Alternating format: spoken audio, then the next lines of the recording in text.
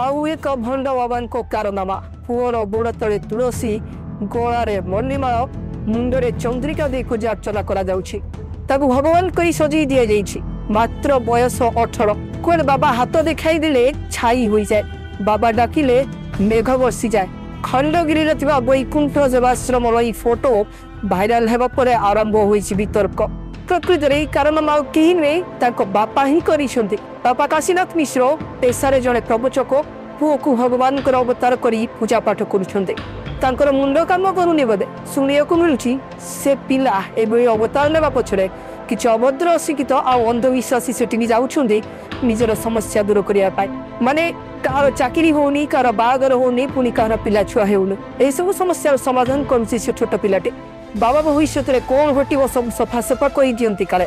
ବାବା ଯାଜପୁରରେ ଜନ୍ମ ଆଉ ଖଣ୍ଡଗିରିରେ ଲୀଳା କରିବେ ବୋଲି ଶାସ୍ତ୍ରରେ ବି ଲେଖା ହୋଇଛି ଆଉ ତାହା ବି ଘଟିଛି ବୋଲି ଭକ୍ତ